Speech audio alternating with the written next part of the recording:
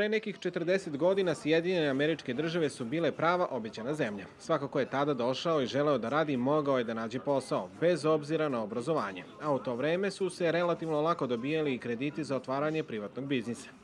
Bilo je tada mnogo lakše nego danas, ali i sad nije baš tako loše.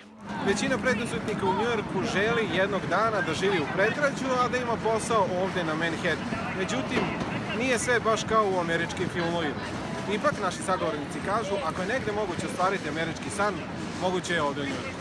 U Srbiji šta god da sam radio, nisam mogao da napravim ni pola kao što sam ovde uradio za pet godina.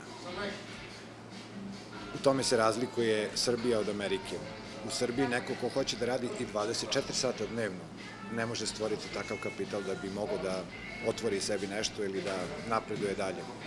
Ovde je to vrlo moguće. Ako dođete u ovu zemlju i ako sredite svoje papire, ako se edukujete u ovoj zemlji i završite sve što oni zahtevaju, znači u ovoj zemlji se sve može. Uh, uopšte nije teško otići i otvoriti svoj biznis, ali morate imati znanje za to, ne samo otvarati bez znanja.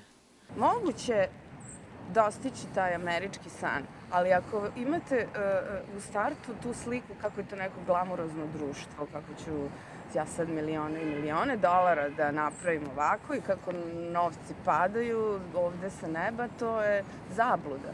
Mora da se radi. Istini za volju da biste u Americi imali dobar auto i lep stan u sobstvenom vlasništvu, morate da radite bar 12 sati dnevno, a to će vam se sigurno odraziti na zdravlje, porodicu i socijalni život.